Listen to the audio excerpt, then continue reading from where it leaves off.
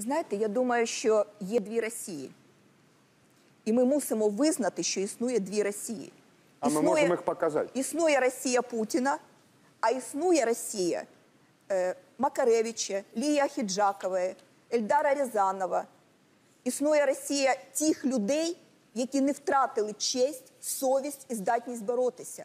Наше майбутнє Леонід Макарович не з Росією Путіна і не з Путіним. Він поступово уходить.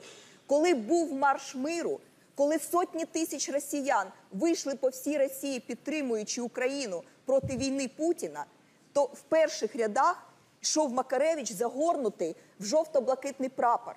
І він в цю хвилину був більшим президентом Росії, ніж Путін, тому що визначає лідерство не те, в якому кабінеті в Кремлі ти знаходишся, і не те, що ти береш силою зброї. А лідерство визначається рівнем моральності і духовності, яку людина може демонструвати, в тому числі в складних умовах.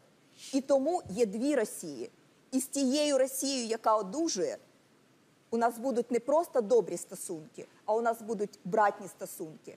Але за допомогою світових лідерів, за допомогою всіх обставин, які склалися, мені здається, що Путіна і його частину Росії треба просто відправляти в небуття.